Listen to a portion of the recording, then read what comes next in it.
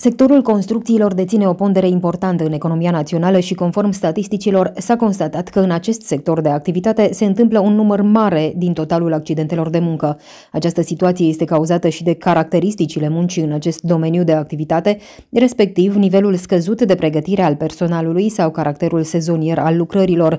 O altă cauză este modificarea continuă a mediului de muncă, procentul ridicat de lucrători fără forme legale, dar și existența zonelor cu risc ridicat. În urma deficiențelor constatate în campania anului 2023 și a numărului de accidente de muncă înregistrat, Inspecția Muncii, prin inspectoratele teritoriale de muncă, desfășoară în cursul acestui an o campanie națională de verificare a modului de respectare a cerințelor minime de securitate și sănătate în muncă la lucrările din domeniul construcțiilor. Campania se desfășoară în trei etape. Prima are loc până la sfârșitul acestei luni și reprezintă etapa de informare și mediatizare. Cea de-a doua etapă se va desfășura în perioada aprilie-noiembrie 2024 în care se vor verifica aspectele legate de modul de implementare a măsurilor necesare pentru asigurarea securității și sănătății lucrătorilor. Etapa a treia va cuprinde centralizarea rezultatelor campaniei la nivel local și a rapoartelor privitor la verificarea măsurilor dispuse.